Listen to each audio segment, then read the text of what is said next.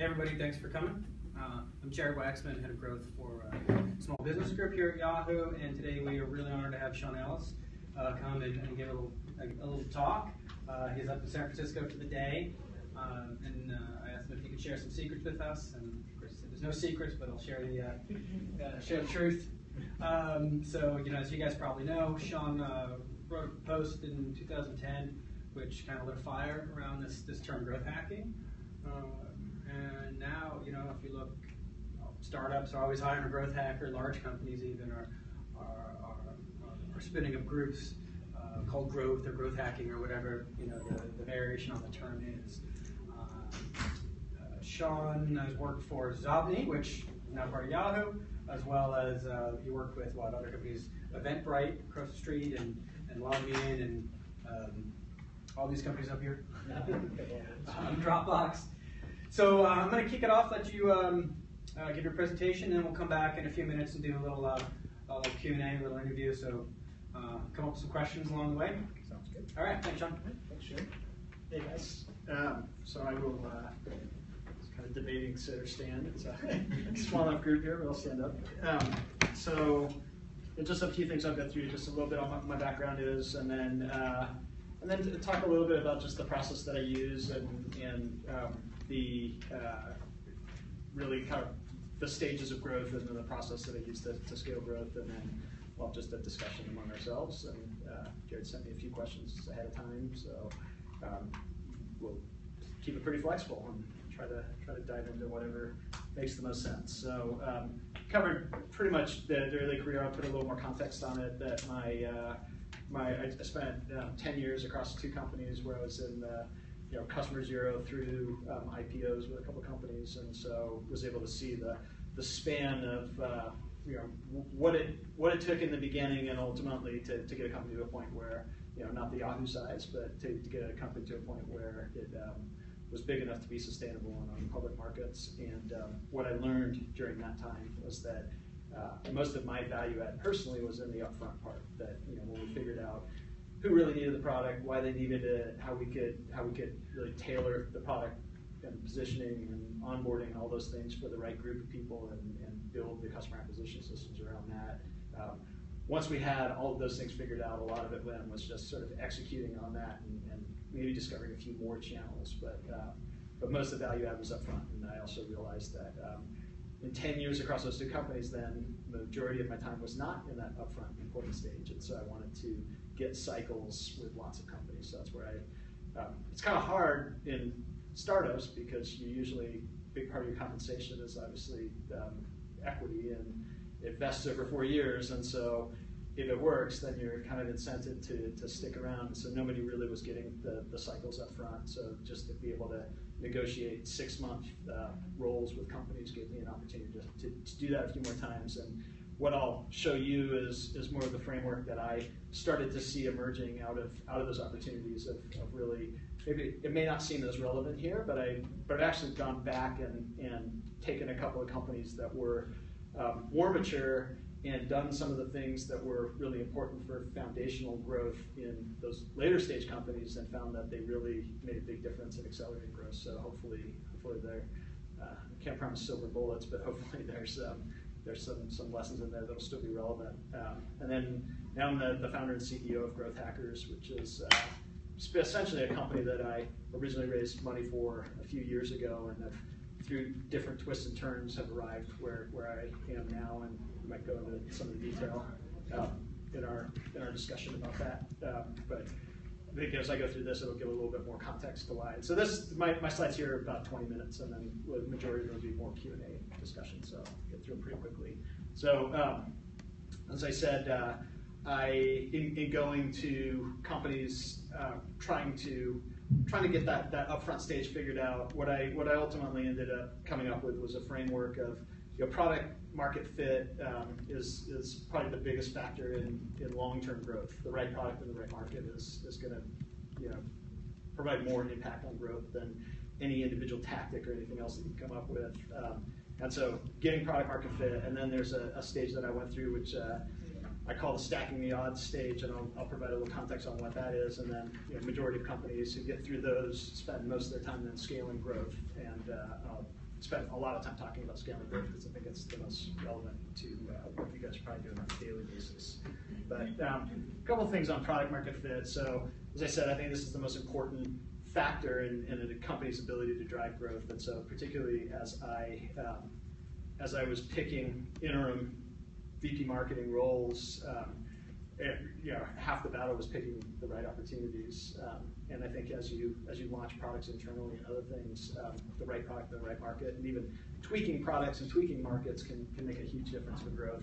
Um, obviously, the best markets are large addressable markets, and your products must have for those markets. That's that's really as I think of product market fit, what it is.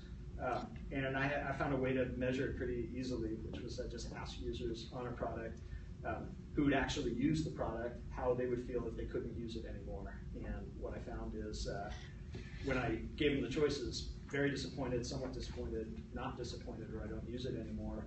Um, companies that had 40% or more of their users saying that they'd be very disappointed without the product. Generally, we're, we're pretty growable companies and companies that um, the numbers were much lower were really hard to grow. And so it, it was a focusing exercise that um, if they weren't at that 40% number, then a lot of what we were doing was, was trying to find the right market or tweak the product to get, get that right. Um, once they hit that 40%, uh, that that was a signal that we could more aggressively scale. So I know, like Alex Schultz talks about uh, product market fit being really a retention cohort, and when and essentially anything that kind of long term, when that when retention flattens out, that, that group of people who stay retained long term, it's kind of the same thing, just in a quantitative way. This is more of a qualitative question that people who say they'd be very disappointed without the product are likely the same people who keep using it. So Alex Schultz, the guy who runs growth at, uh, at Facebook, you guys probably know who that is, but just in case you don't. um, so. Uh, so basically, the foundation of product market fit was critical. Stacking the odds was what I did with most companies in this interim role, and so like that's you know if there's any kind of silver bullet, it was really what I what I did in the stacking the odds phase, which is um, which is basically understanding uh, you know those users who say they can't live without the product. Um, what what is it about those users that makes the product a must-have? So who are they? Or what what what is their their profile? Um, why is it a must-have for those users? What is what is the benefit that they're getting from it, and um, you know, ultimately how are they using the product? The more I can learn about those users, the more I can go out and create more users like them.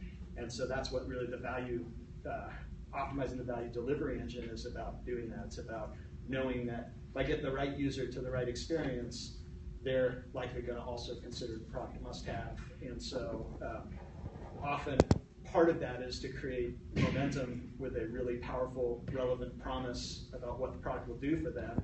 And if that's kind of bookended by the must-have experience of the product, then they're going to come in with the right expectations, come in with a lot of momentum, and then a lot of the um, a lot of the optimization and experimentation in that case is, is around um, reducing friction to get them to that must-have experience. So set the right promise, a lot of a lot of just friction reduction and, and knowing that you know the more of the right people that I could get into that core experience, that unlocks a lot of growth. And so for, for the majority of companies that I worked with in those interim roles, that that defined a big part of that six months. It was not a lot of uh, a lot of um, scaling. So on the on the pyramid, the, the scaling growth period um, was it, it's ultimately going to be a lot more effective if you've done those other things well. And so I was trying to cycle through and do those other things. But what I've been doing for the last really year to two years is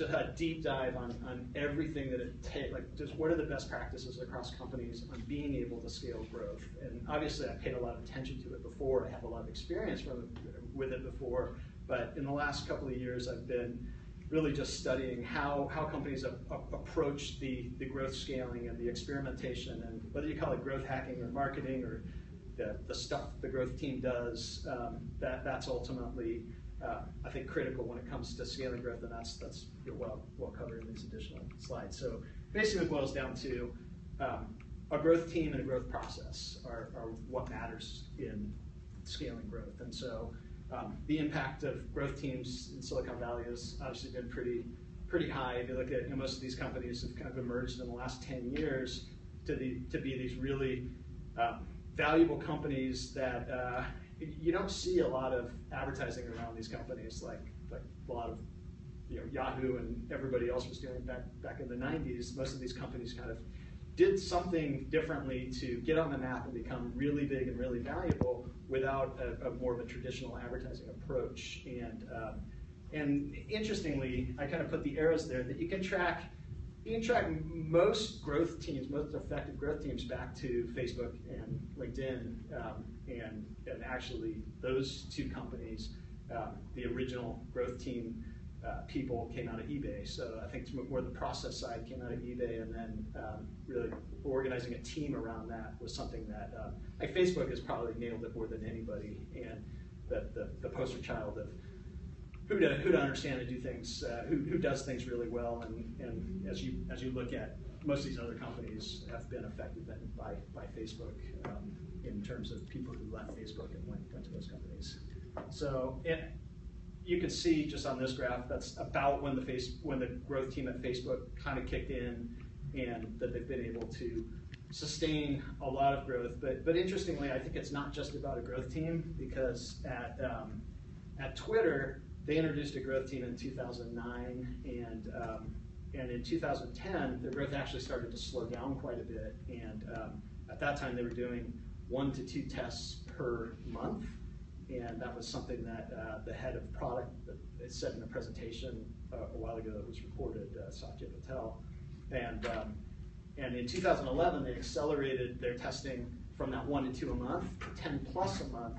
And when you actually look at their, their growth rate, you can see that just, just around that time, that, that just that higher velocity of testing seemed to really make a difference for them. And I think, and it makes sense because you don't know what's going to work and what's not going to work, and that um, and that each test you run is going to help you understand more about how, how you're going to grow a business. And if you run two per month, one or two per month, you're not going to be really effective with it. If you run 10 per month, you're going to be more effective. Um, I, uh, I kind of took that to heart myself. We, as we were growing uh, Growth Hackers, we, growthhackers.com, we did pretty well in the first year, and um, it's, it's more targeted group of, of mostly growth marketers and engineers, and um, we we did pretty well, got it to about 90,000 monthly active users, and then flattened out after the first year. And so for three straight months, we were flat. While I was, I also have Qualaroo is another business that we've that we've got folded in the company, and so I just was busy with a lot of things and not focused on growth. And I just kept telling the team, you know, we need to run more experiments, but I did I wasn't real specific around it. And when I finally said, um, and probably more came out of Jason. Jason, Jason uh, runs our product. He flew up with me today. Um, but Jason was talking about, you know, we, we need to run more experiments as well. And so we just by setting the goal and saying, well, let's, let's run at least three experiments every week. They can be tiny experiments or big experiments or whatever we can do. Let's set that target.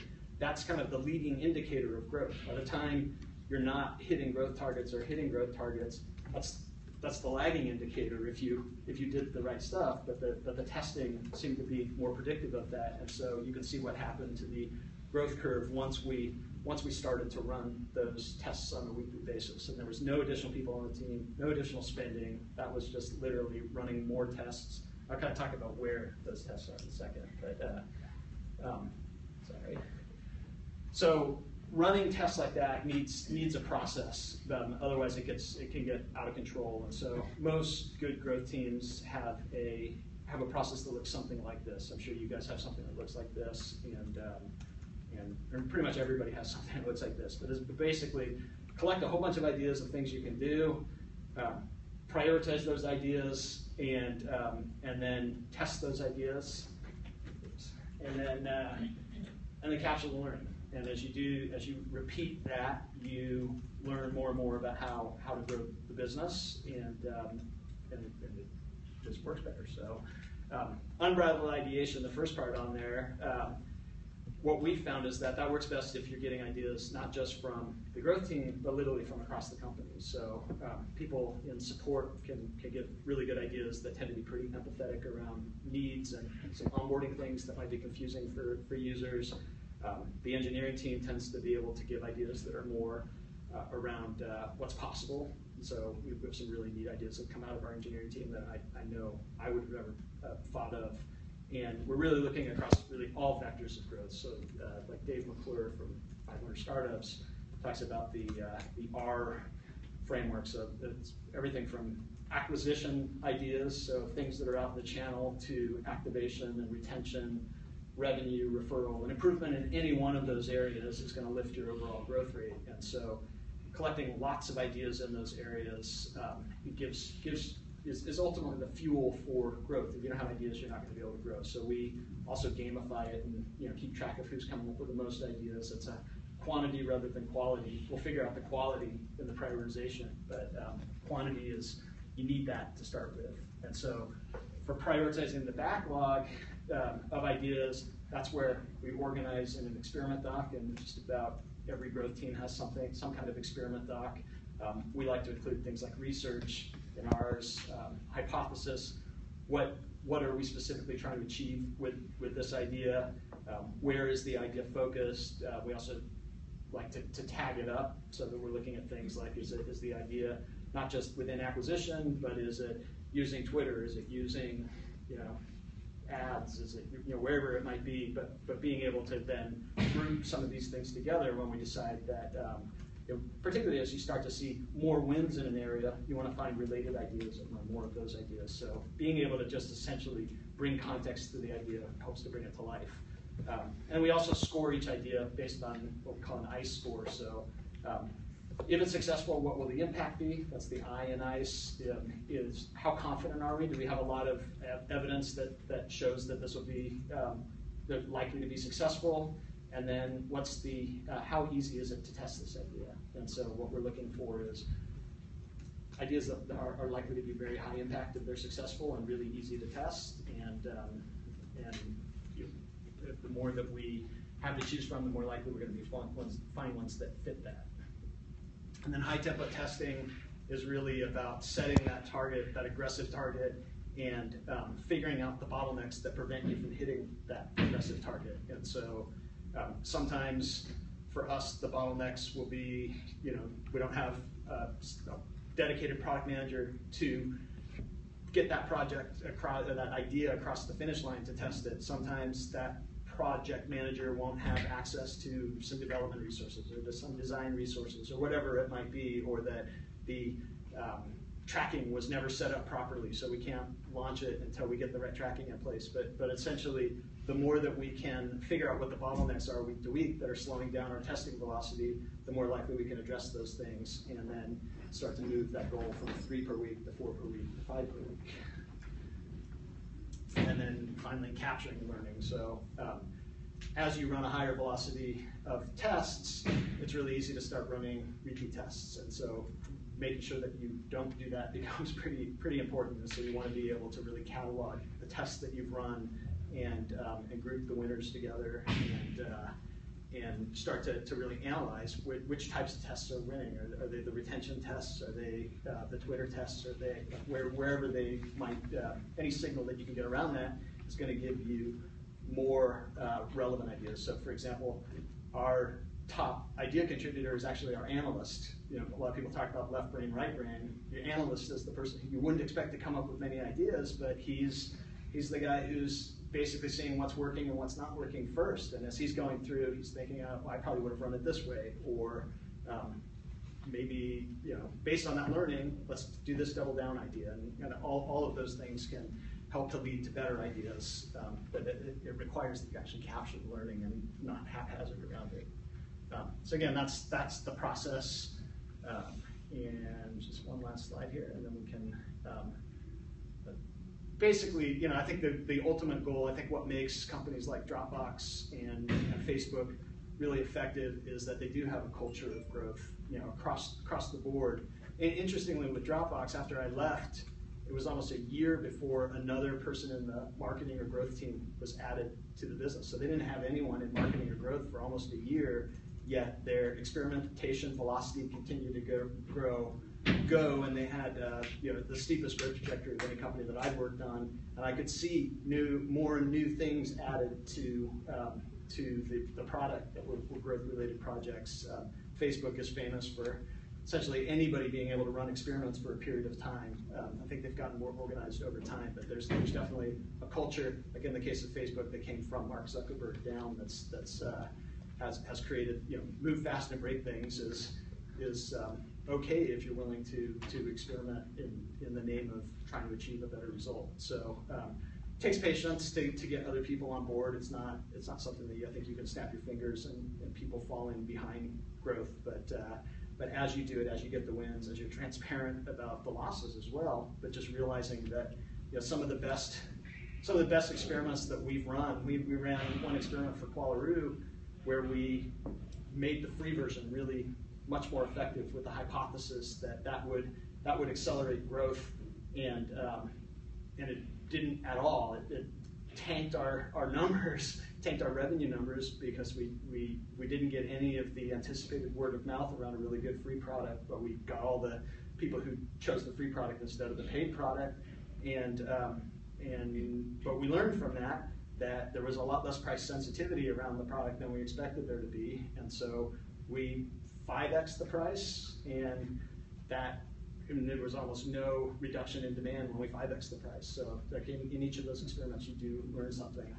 Um, but basically, I think as you create that growth culture, it means that across the company, everybody has an eye for growth opportunities. And as people have an eye for growth opportunities, you get more and more into the ideas backlog. And for us right now, we have over 400 ideas in our ideas backlog. And in our weekly growth meeting, when we can pick from those, it means it's really easy to find three that we can get excited to, to run each week.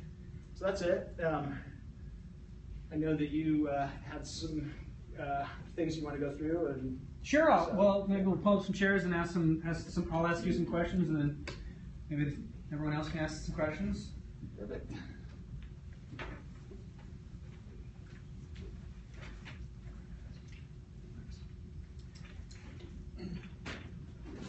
Thanks, it was really great, Sean. Um, in particular, I really, I really like the, the focus on that one question. You know, how how painful would it be if, if you couldn't use this product anymore? Mm-hmm. Um, and a lot of people talk about, you know, businesses that that keep improving generally have like one metric that really helps everybody get on the same page. And I think I think that's that's a really you know great lens uh, to, to look at. And I'm, I'm, hoping we could we could borrow from some of that. Yeah. Um, so that's great. Uh, before we get into some of the, the, the, questions just around growth, I, I just want to you know back up a little bit on your background and, and actually you know kind of what you're doing, you know your day job today, um, and kind of let everybody kind of understand what that's all about. So so right now you're the CEO of Qualaroo and also GrowthHackers.com. Uh, so tell you know tell us a little bit about about those businesses and, and why they're together and, and, and, and why you chose to work on probably a lot of opportunities, why you chose to work on those two opportunities. Right. So, so as I talked about, the your product market fit is the, the number one determinant on being able to grow a business. And if uh, you know that that there, I think there's some some benefit to you know sometimes saying this is good enough and just hitting the accelerator and doing the most that you can with with a business. But um, I, I think I'm, I'm pretty good with growth once I have the right product in my hand. But for the wrong product, I'm not any better than anyone else. And so, so a lot of what we've been trying to do over time is, is get the right product that we can scale. And so um, the original business that I founded was was completely different. It wasn't Qualaroo or Growth Hackers, but I got enough into it where, where I realized that, that it just, the assumptions behind that business were, were not going to work. And so, you know, knowing when to hold them and when to fold them yeah. was, was part of it. And I had raised enough money that time we raised five and a half million dollars. I went and acquired um, what is now Qualaroo. Um, it was a project KISS Insights, and what I found is as we've been uh, executing on on is that um, it's a it's a survey product. Actually, Yahoo's a customer on there, um, and it's as you're navigating a website, um, it's tied in with the analytics so that if you go to abandon a page, for example, it'll say, you know, what were you looking for that you decided not to stay, or um, you decided not to purchase today, why not? Like, um, or what are you trying to do today? Like, it kind of gives you intent or or those other kinds of issues. But I think the market's relatively relatively small for that product, and like people have a set of ideas when they go in to use it of questions they want to ask, and then and then uh, they stop using the product. And so, um, for us, it's been you know, growth hackers is really really kind of looking at Qualaroo and um, growth hackers.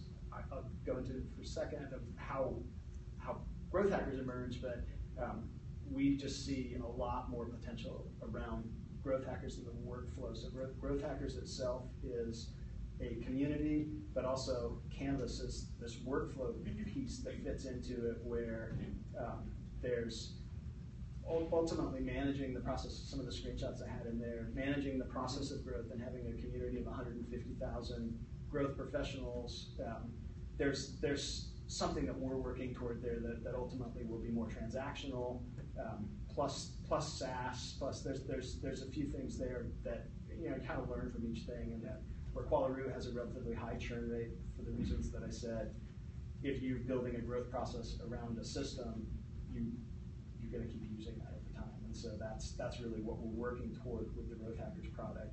Um, but Growth Hackers itself, the community emerged as a tactic that we did initially for Qualaroo, oh. where we, for marketing related products, the um, content marketing tends to be the most effective uh, way to grow those businesses. And if you guys do much content marketing, it's kind of a pain in the ass. And so I, I just watched companies that were real effective with content marketing, the amount of, um, they, they essentially become content businesses, that they, they have to hire and write, they have to hire a lot of people or, or contract with a lot of people to write a lot of content.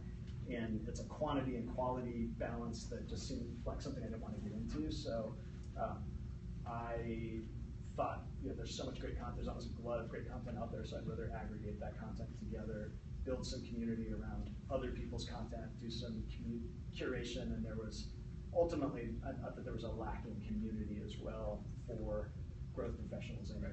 And so I saw enough voids there that that's where we ended up coming out with growth hackers, and um, and it got traction a little quicker yeah. than we thought, and we just you know, played out from there. That's fascinating. So it sounds like you raised uh, five and a half million dollars per company, and your sort of mission was to help uh, other companies find that product market fit so that they can then really you know scale their growth.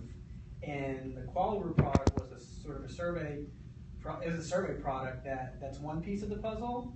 But then as you started to try to market that business with content marketing, that piece became its own success uh, and sort of even more the center of the. Yeah, that shows how confusing that yeah. story that I just told was. trying to hear it told back. So, so yeah, the first was something called Catch Free that uh-huh. was um, was literally a completely different business. Oh, and um, and for a number of reasons, it, it, the assumptions behind that business that were needed, like again, like recurring usage, habitual use. It was, it was app discovery for freemium apps and services, and turned out that people who came back only came back once every three months, and we also plan to market it through AdWords, which is something that I've done with, with other companies, AdWords and, and Yahoo, and you know where, wherever we could do kind of intent harvesting into these free services, and um, but we, we got cut out of those channels because we were sort of uh, information, you know, not adding a whole lot of additional information in there. And so for, for a number of reasons, that's a, that's a long story in my heart. but, but so, yeah, so we had money and not an idea. And so it's like a, a cold start into Qualaroo. And then Qualaroo has, has essentially built up to the point where it's very, you know, cash flow positive and has, has essentially provided, um, I think it was somebody, was it, no, it was, uh, it, it, it, uh, it, it's essentially provided enough cash for us to build the business that we're building now in a way that, you know, a lot of it is we need to be, um, we need to be patient with the business that we're building. There's, there's a fairly complex system around um, having a SaaS and a community work together in a way that's that's viable. And so um, that's like our, our waiting list for Canvas is about 1,100 companies, and like every company that think of is on that waiting list. But we just um, we've been pretty slow about bringing them in because we've got such a good flow of feedback right now that um, that we we know there's a lot of companies. If you don't have the right process in place, you're not you're not very likely to stick on the system. So we're, we're essentially finding people who have the right process in place, bringing them into the system, iterating on feedback, and, and working toward where we think ultimately would be a really interesting market there. But that patient approach is is possible because we have good cash flow coming off of all of it. Well, this is what's so I think great about talking to you and hearing your experiences because you don't just go out there and, and preach and lecture about product market fit and experimentation.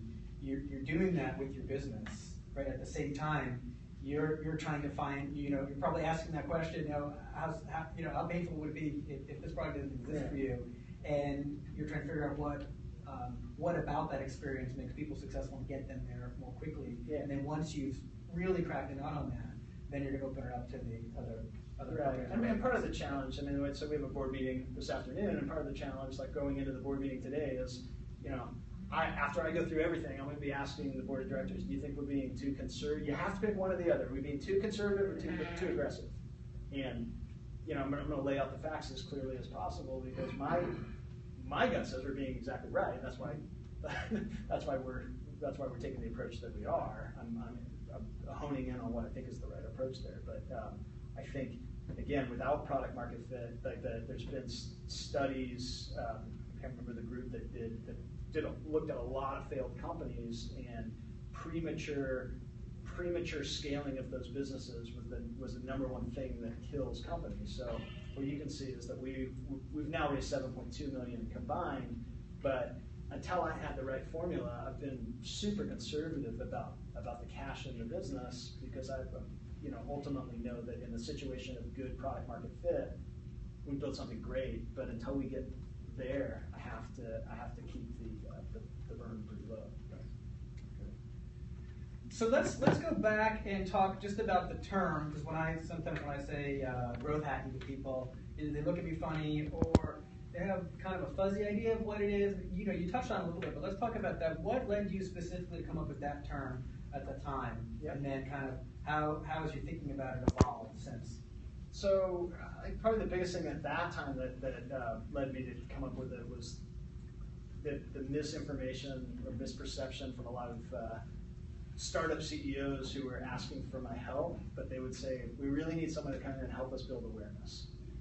It's like, really? You have how much money, how much time? Like, you're not going to build awareness. You need to acquire customers. You need to iterate on feedback. You need to you need to figure out a sustainable growth engine. And it was, you know, for them, they had a, a preconception of what marketing was, and um, I didn't think startups had the luxury of doing anything that was not directly measurable on its impact on growth. And um, and so it was very much of a startup thing when I when I first came up with the term. And um, but at, yeah, I think like with with any and, and for me by by calling it something different, then I could define it exactly as I wanted it to be. And so there, there was a lot of people that were it was probably it was, when I was at Dropbox and looking for that replacement for myself that um, a lot of the people were saying, you know, here's my skill set, and it was it was like a regurgitation of a, of a marketing textbook, and me just looking at that and just saying that, you know, Dropbox does not have the luxury to do those things. We gotta we gotta do a subset of, of like one tenth of that that has a direct impact on growth, and and by re by calling it something else, I could I could more clearly define what it was. I never expected it to take off as it, as it did, but it, uh, I think you know I, I think that as I what I defined more closely represented how how Facebook was approaching growth, how LinkedIn was approaching growth, how how some of these companies that had growth teams were approaching growth, and that, I had that in mind as I looked at it. Um, but uh, now today, to me, growth hacking has evolved to where it's really a process and um, and it's it's a process where marketers traditionally just have access to acquisition. Some some of us got a little bit of access to activation and some of the conversion stuff, but even at LogMeIn, I and I, one of my first hires was a was a front end engineer to do um, conversion rate optimization. But our engineers said, "Well, you're on the marketing team, so we're going to create a landing page environment where you're blocked from everything except for these like little subdomain of landing pages, and, and so there's this kind of fear and permission that marketing doesn't have access to things where like the best growth teams have have report into the product organization, have access to all of the powerful growth levers, all the way down into retention and revenue and referral. And it doesn't mean that acquisition is not an important growth lever, but everything should be weighed across, you know, where today, where is the lowest hanging fruit of the types of experiments that we should be running. So at, at Growth Hackers, the majority of our experiments are around retention right now, but as, as retention, as we carve out that low hanging fruit, then we'll probably shift more to acquisition, for example. So people ask, and people, I'm sure people have asked you, it's marketing, right? And, and, and you respond, It's, it's marketing, it's what marketing should be, sure. but it's also, can be product, it can be, Yeah, but I think be support, marketing, marketing, one of the four Ps of marketing is product, so Right. like, you know, you could make the argument that, that it is what, what marketing should be, but by calling it marketing, people's preconceived ideas of what marketing should be doing and where marketing should be operating is, is so different than, I think, the, the truth of where growth best happens, that calling it something else opened the door to more access. And I, I hear from lots of companies that I have a head of growth because, because a head of marketing would not have access to this stuff. So I, I think it's just words, it doesn't really like, you know, what, what it's called matters a lot less than, than ultimately, ultimately how, how do you best drive growth for each business? And I think it's easier to drive growth if it's not called, if this set of functionality is not called, um, marketing right now. Hopefully people's minds open up eventually and, and allow a marketer to have access, but, uh, today it's pretty rare that a marketer has, has deep product access. yeah. So, so, is it a, is it a title, is it a team, is it a mindset? Is it the way that you organize? I think it's more of a process, yeah, maybe the way that it, that you organize. It's, um, it's, it's that systematic experimentation across, across the levers of growth and that, um, and that, uh, I- to me, as you do that and as you learn from that, your mindset does change, but I don't think the mindset necessarily, necessarily, um, drives it initially. I, I, I don't know, I'm just kind of figuring it out. Like, I do think it is interesting that on that slide of the companies that I, that I showed, um, who, who've really pioneered growth teams, all of them tend to be network effect businesses. Mm-hmm. And I think part of, part of the thing with the network effect business is that it's really not viable until you have critical mass. And if it's not viable, then it's really hard to raise meaningful money. And so there's a little bit of a chicken and an egg in terms of funding with those businesses. And so if you, if you look particularly in the, the early days, they had pretty good traction by the time they raised meaningful amounts of money. But I think at that point, then the mindset was already in place, the culture was already in place, that they realized that even though it was needed in the early days, it's not necessarily needed now. It's just such a better way than throwing a bunch of money at growth the way that traditionally marketing has done, that they that, that it's stuck. Yeah, no, but you, bring up a good uh, question. Uh, you know, because you, you said it kind of started out with startups in, in your mind, what growth hacking was, and now you know we see a lot of big companies have teams, and I want to get into that a little more, how you think they're organized and, and, and so on. But um, but yeah, they're all network effect companies. So are there examples of companies, of, of larger companies that are not, you know, network effect companies uh, that have that mentality? And what are some examples? Yeah, I mean, I think I think HubSpot, for example, I, I think what you start to see is that um, that compete. You know, part of what's driving this is that channels have gotten really crowded, and you know, that that there's like four dollars for each person online, you know, being spent on advertising versus, you know, for every one dollar that was spent ten years ago, and it becomes harder and harder to buy attention. And so, if you can, if you can engineer solutions that earn attention, uh, that that tends to be more sustainable in some senses. And so, like a HubSpot with their website creator product, um, just looking at a B two B example, I think HubSpot. Um, you know, by, by essentially, if you think like how, how could HubSpot have spent money? I'm a customer of HubSpot and, and, and an early shareholder in HubSpot, and I still barely understand what they do.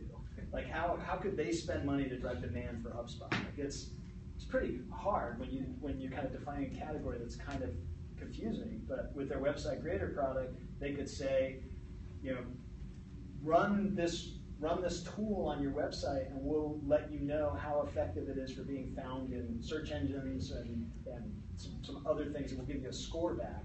Like they, they were able to bring it down to something that was impulsive, integrate with their sales process to where now a salesperson could be walking them through that report and and and ultimately it's people are paying to be qualified, which is kind of what I did with with that question, the the the how would you feel if you could no longer use this product question. As a consultant, I, I published that survey on survey.io. And so when when companies were looking to work with me, so I did the interim marketing roles and then I did consulting after that. And what I knew is that I, I was not going to be very successful with companies that weren't there. I was going to spend a lot of time if they didn't have enough people who considered the product a must have. So by making it a free surveying tool, they could go out, run that question, and essentially do the qualification for me. And then I said, if you're above 40%, bring me, bring me your report. I'll talk about what the next steps are and if it makes sense to work together. Um, so I think it's really similar to kind of what, what they've what they've done there. So that would be an example of one non-network effect business. Yeah. But I think kind of every business sort of has network effects to it as well. Like even as a consultant, I had network effects. So Mm, Right.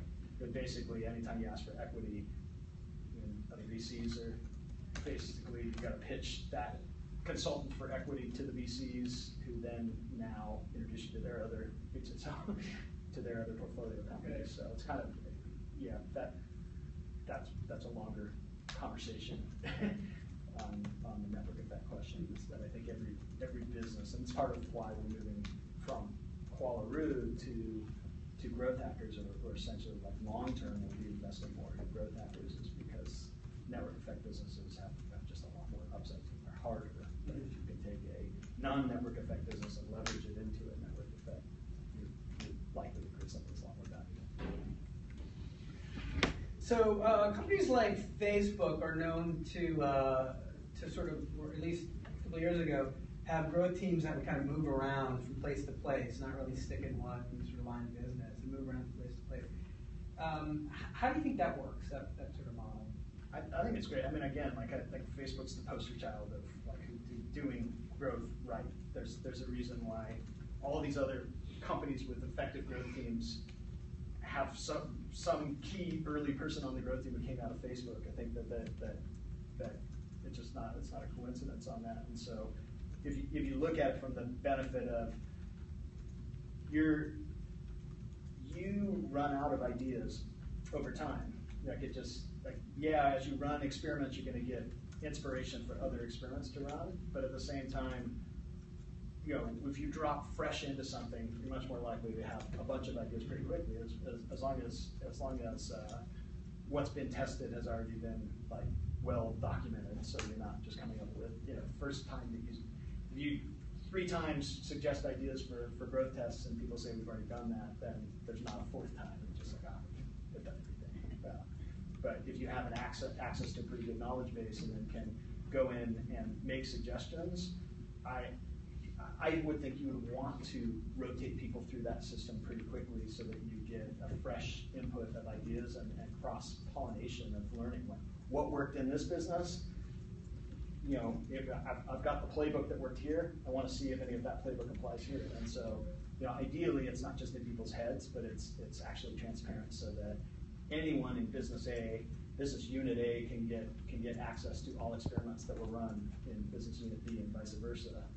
Just it opens up um, more more learning, and that's why, you know, one of the first one of our VCs is Index Ventures out of, out of London, and one of the first things that they did when they saw our plans for Canvas was that they want to create a network of each of their portfolio companies because they, they already try not to invest in competitive companies, and so being able to create a confederacy of Mhm. people having access to their experiments just it just makes a lot of sense. I want to open it up now um, to the to the audience here. I'll give you guys a chance to ask uh, Sean uh, a question. Uh, Jonathan. Hey, uh, Sean, thanks for sharing today. It was really, really insightful. And um, so I actually saw the Survey IO thing for a new product we were developing it um, the growth team here. We actually um, did did a version of your must-have question as sort of like an exit survey to a test. And um, the thing that we were looking at was um, really trying to understand when to ask the must-have question and, and why like why a certain moment was the best time to ask it. And I was wondering if you had any thoughts. Yeah, so what I, what I tend to do is um, I, I, I like to ask it for people who've at least experienced kind of the core experience of a product. Like, you know, somebody who signed up and never used it, Yeah. pretty much know the answer. Like, they're not going to care if they can't not use it anymore. Um, so they want I, I want people who've used it at least twice. And, twice. and so if they've used it twice and, at- and at least in the last two weeks. So it's, you've got kind of that recency of usage and, um, and actually, you know, actually given the product a good, a good, you know, if it's, if it's not a must-have, just because they tried everything, doesn't mean that they're guaranteed to, uh, consider a must-have. There's lots of choices out there. Um, so those, those are the, the big criteria on it. One thing that's kind of interesting with, with that question, um, I, one of the companies that I worked with that's now a couple billion dollar company, when I first asked that question, they were just at seven percent. And Wow. I was like, oh crap, I just committed to six months with these guys and they're at seven percent. Um, and I just come off of a couple of companies that are doing really well today that were like fifty and seventy percent. And uh, so I'm looking at seven percent. And, uh, but we got that company to forty percent in two weeks. Wow. And the way that we did that was, um, we basically studied the answers and that the seven percent, we're all using it in a very similar way. And, um, most of the other people were not using it in that way. So we, we repositioned around the benefits that they were getting, took a lot of the noise out of features that didn't relate to that, and just streamlined, streamlined kind of the, the positioning and the onboarding to take them into that experience. And so that next cohort of users was at forty percent, and then by the time I left, it was at sixty percent. Cool. Thank you. Great question. Yeah, um, I have a question about, have you worked with businesses that have commodity products for which the growth hacking worked and how did it work? Um, so I haven't, and I think, you know, I think that question is essentially, is essentially the opposite of the commodity product question, because what I found is that people who pick somewhat disappointed all say, well, I would just use product X instead. Right. And so, you know, that, I- think I think there's a book called Differentiate or Die. Like, Like, to me, that's the, you know, being able to find, being able to find what is that, what is that unique must-have attribute of a product, um, is, is, uh, long-term, I think, what's, what's critical.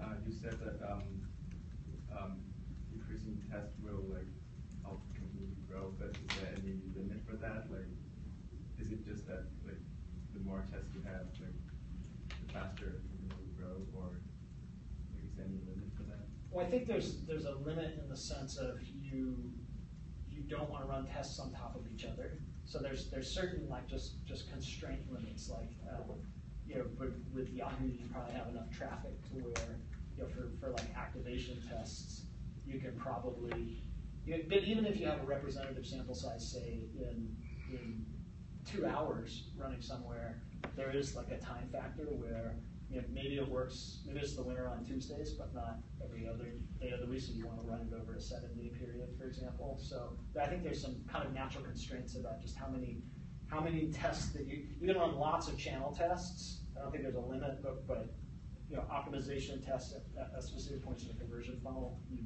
you can be constrained there.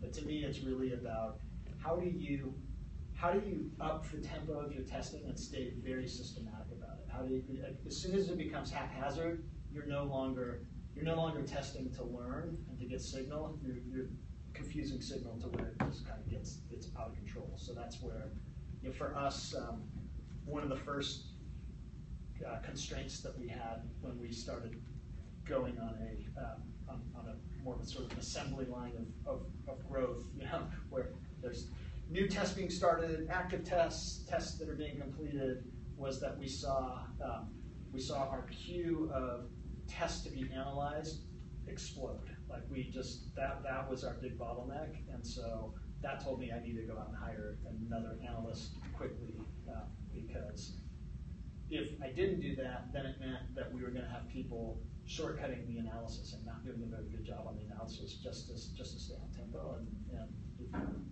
not running good analysis, then, then again, it's just sort of haphazard testing, so I think that's, what, what I would do is, is set an aggressive but achievable goal, and then, and then ratchet it up like literally one, one more each month, and try to run the most impactful tests within that goal as possible. Which what's great is that even with, with three, like some of our highest impact tests, we have a test that increased email collection by seven hundred percent in a month, and it was a test that took like thirty minutes to implement. You know, basically, just moving an email collector from the bottom of the page to the top of the page. And then we doubled it again, we moved it back down to the bottom, but it was a redesigned, sticky design that stayed when people scrolled and, and looked a lot better, so, uh, and even that was a relatively, that that probably took longer because we needed a designer to come in. There's a little bit more technology around, not technology, but just, you know, a little bit more coding around, uh, making it sticky. But it was a double down test, so we already, we had signal that messing with the email collector was going to, um, it, you know, was yielding results. So it was worth the investment of a little more time to, to, to try to take it to the next level and got us another You showed a couple screenshots of some software. One was a list of ideas and their ICE score, and the other was uh, like a gamification thing where you're showing, was, is that, is that software you guys make? That, that's the Canvas product. And that's part of Qualaroo or part of Growth? That's part of Growth Hackers. That's, that's the part that, that's in, in private beta right now. Okay. But- And yeah, that's with the, big list of people that wanna. Yeah, yeah, yeah, Okay. That's too bad. Um, You guys are, are- are welcome to use it. In fact, I think we got a couple different teams from Yahoo that are on, on the list. Jason's already talked to one of them. Yeah, just come by right after we wrap up. I'll Okay, cool. Uh, else you can do. what is your, what is your process there? So, or the process you recommend that people use for that? So is it, you know, you know, everyone, every employee in the company can submit an idea and then how do the, the, you know, how do you generate those ICE scores? Yeah, so the way that we do it right now um, is wh- whoever creates the idea actually puts their own ice scores on there. Which is probably a bit subjective, right? Totally subjective, but you know, versus versus like, but we still then we go through a nomination process, Mhm. and um, for every three ideas that we pick, there's like 15 that are nominated, and we narrow it down to those three. And during that nomination process, we'll look.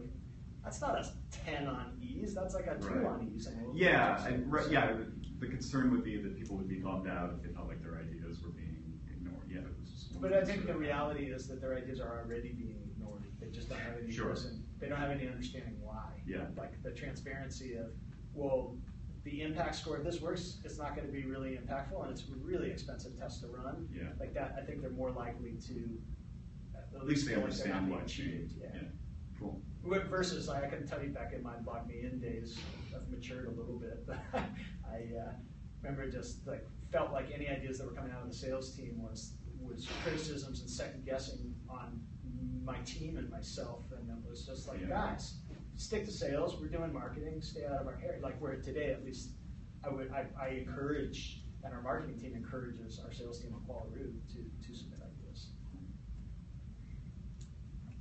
Thanks for coming in today. Um, one of the choke points for experimentation, as well as looking at analytics, are the tools behind them and the frameworks behind them. Given the landscape of companies that you work with, are there ones that stand out, especially for larger companies, that you actually find using um, versus building in-house for either experimentation and or analytics? Yeah, I mean, the, the, um, it's, it's it's all over the board. The bigger companies tend not to be using something like Optimizely, but, you know, something like Optimizely sure makes it easy to run, run tests pretty quickly. Um, from a, from an experiment management perspective, the bigger companies tend to be using spreadsheets to manage, manage the experiments. Um, The actual implementation of experiments, there's, there's something that's online that's pretty, uh, Pinterest hosted something a couple months ago that had um, people from the Pinterest growth team, the Facebook growth team, and the Dropbox growth team, and they talked about some of the internal tools that they've built to manage their testing. Uh, and uh, if you, I'm happy to send you a link to that if you want to see that, that video. But yeah, you, what you can see is that these these guys basically have baked a lot of their own products for doing it. And I think the bigger the organization, the higher traffic that's coming through, the more likely that that's going to be what, what people are doing. I think that, that the reason that we, like, we would never be able to run experiments at the velocity that we're running them at if we didn't have something like Optimizely to, to implement. And I guess, following up on that same question, is there anything, any patterns that you're observing in terms of how people are doing uh, growth hacking tests on native app development with Bear on mobile?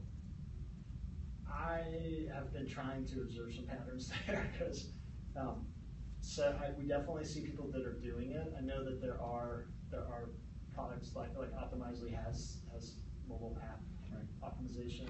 Um, the uh, I'm I'm still digging on that one, but I definitely find companies that are running multiple tests per week on on apps, but I just I don't I haven't figured out exactly how yet. Jason, do you have any insight on that? Um, no, that, that's about right. Every time I see a map, uh, an app company who's, who claims to be running multiple tests per week, I'm asking how are you doing that? It often comes down to the.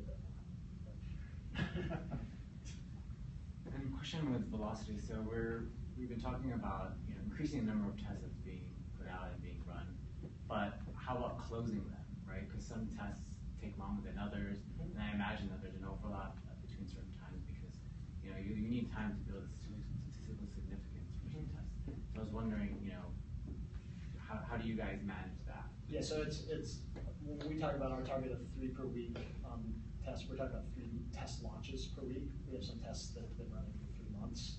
Um, But, uh, but I mean, we, our, our to be analyzed queue of tests that have been stopped is way bigger than our active test queue. So that's an indication that, you know, still, even though we, we hired that analyst, we still have a pretty big, big backlog there. But uh, yeah, I mean, I think the biggest thing is you just want to be careful not to not to run tests on top of each other in the same part of the funnel. Um, but uh, yeah, I, I, I, before we had Canvas sort of managing our workflow that at least showed us what's in the active column, we um, we would forget about tests that we're running and optimizing. So, like, I mean, at least at least now having them recorded in a central place is pretty helpful for us. But uh, And then um, on, on the gamification part of the whole, you know, having like a leaderboard type thing, um, how has that helped with idea generation? Right, like, has it really helped, or you know, what kind of difference have you seen by implementing that kind of system? Um, I don't know, because we didn't really have a control group where we didn't implement it.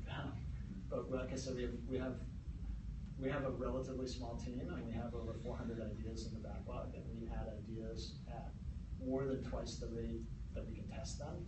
So we have a constantly growing backlog, um, and uh, you know, part of it is part of it is kind of like you know, what I'm doing when I see someone submit their first idea, whether it's a, an advisor or someone in the company, I'll actually reach out directly and say, awesome to see you participate in growth. Um, when we have a, a, change in our leaderboard, like our, we're, about to, the analyst is about to jump into first place. It was one, one idea behind being in first place when I looked yesterday, and I know he'll get there probably in the next day or two. And uh, I'll put that in Slack you know, the screenshot of the leaderboard and say, oh, we got a new leader, and I know it'll piss off the other guy. And um, so, like, I, I mean, the gamification works. It's, uh, I don't know that it works well for everybody and in the same way, but I, I think it, it does. It makes it fun. yeah. Um, so, like, I, I think maybe a problem that we have at Yahoo is that when we come up with a, a new product, we basically have this huge fire hose of people that are going to come use it. You talked a bunch about like trying to stay small, sort of until you get the right product fit and then move to the growth portion. So how do you think we should try to like mitigate those factors, or like is there something you've seen work elsewhere Like if Yeah. we launch something big today and we're really worried about growth, like right now, everybody in the whole fucking world is gonna go see it. Yeah, I mean, that's where I would take, I would, I would, I would, I think that's why, uh, Steve Blank, if you- if you're familiar with Steve Blank, uh, Four Steps to the Epiphany, you know, he talks about it's, his, his approach is for startups and for existing companies launching new products that, that basically, you know, this whole lean startup, like, being very qualitative. I, I think it's too easy to be super quantitative when you have a whole bunch of users, but being very qualitative around your hypothesis on why people need this, you know, who you think needs it, like documenting all of those things, having those conversations up front, getting as much of that validation as you can going into it, and then, you know, again, like like for us, I could fire hose a whole bunch of people at Canvas right now, but I learned pretty quickly that people who run one test per month are going to churn off the Canvas. So part of the reason why I'm not inviting that waiting list in is because until I have functionality that helps people accelerate their tempo, they don't need a system to manage one test per, per month. They're, they're fine with spreadsheets, but as soon as I found people with spreadsheets that were running multiple tests per week, like they're just like it's it's bringing water in the desert to someone. So part part of it is when you can control. Like, I, why would I invite my whole waiting list only to see them churn now? Like, I, it's it's much better to. And and then part of what we're doing too is we're looking at uh, weekly cohorts. So what we're saying is if we invite 10 companies in this week, six weeks later, how many of them are still active? And we're looking at you know daily active users six weeks later, and and then trying to dig into why are they still active and why are they not active? We're more focused on the why are they still active, but you know, I want to find out from the other guys, did they did they go to a different product or did they not have process in place to sustain it? And most of the time, what we're finding is, oh, we got this product launch that totally threw our cadence off, and we're, we're planning to come back. And so that's not really a problem with my product. It's a, it's with their process. And uh, but I, I, that's where I would just I would be super qualitative. I would err on the side of qualitative when it's easy to be very quantitative. Any other questions? Because I think Is there, is there any, is there any examples where people stop? Right, I mean, you show a lot of inflection points, but, you know, there's sort of a newness, right, so you can sometimes get this inflection point. And, I mean, but, I mean, even when you look at Facebook, they always kind of point out, oh, they started this growth hacking team, and it's the most successful thing. They've obviously grown, but it was already starting to go exponential, right? Like there's, Uh-huh. it's sort of, but is it just, it just becomes the way to keep that I don't know. I think? Twitter has stopped recently. Um, Yeah, but they have a growth team doing experiments a week, They do, but from what I've heard is that they're that they slowed their cadence way down on the experiments. Interesting. Yeah. Uh, but I don't know. I'm not inside there. But I think I think it's more, more the, the kind of the theory behind it of, of basically if channels get saturated faster now than, than they have in the past, which I which I think is the case. I, I used to be able to work a channel for a couple of years. Now I'm lucky if I can work a channel for you know three months. And so if the channels are dying, you gotta you gotta discover faster that they're dying just to just just to keep some kind of growth trajectory. Yeah, it almost seems like it, it becomes more like maintenance. Like, Yeah, yeah, You're just trying to get the new channels. Yeah, you're, you're at least replacing the dying channels Yeah. to maintain, and then and then if you're testing at a fast enough velocity, hopefully you're additive on top of those dying channels. But it's uh, but uh, that's where I think just kind of logically it makes sense that that you have to keep doing that testing. But uh, but I do think uh, I do think that it's uh, that there's probably some.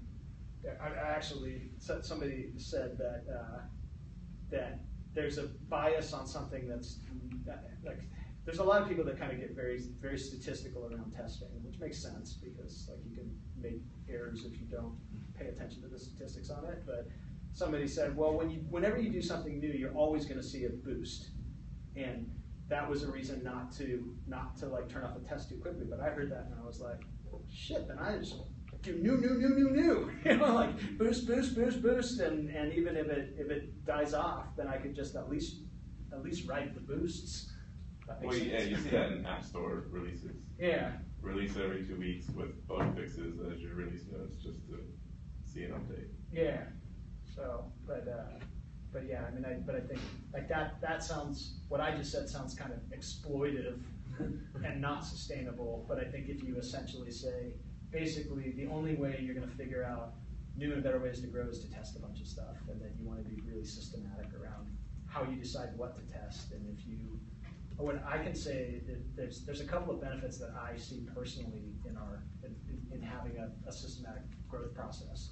One, there's way less dependency on me than I, than I used to feel in other companies where I had to be the idea guy all the time. When I can now be more the conductor in an orchestra rather than play every instrument, it's, it's, it takes a lot of pressure off.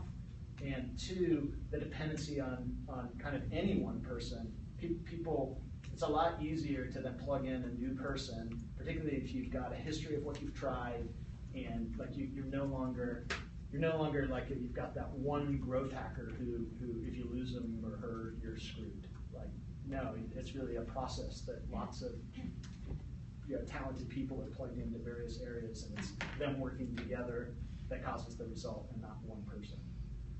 Yeah, also, uh, one last thing, do you ever, have you experimented with testing old ideas that supposedly failed? I mean, just per your point, like, the channels change so much, so like, oh, SMS would have failed six years ago, for Yeah. sure, right, but now. Yeah, for sure. I think that's a great, so one of the things that we, you know, it- to try to move more of our stuff out of the analysis backlog, one of the things that I've encouraged the team to do is, the, the analyst team is that to basically triage it and not, not wait until they have perfect analysis of everything because, because that's what's slowing down the process. But when you move something in, into completed and classify it as a winner or a loser and inconclusive, to have a confidence score on your analysis so that when you have more cycles, go back and, and move your sixes to eights and move your eights to tens. And, and if, if something's a six, then maybe retest it if you, if you, if you don't have enough confidence. And, but we, we retest a lot of stuff because we, So I actually have to. Yeah, good. This was really great. Thank you so much. Thanks for coming in, Sean. Thanks, Jason. Thanks for coming in. Everybody appreciate it.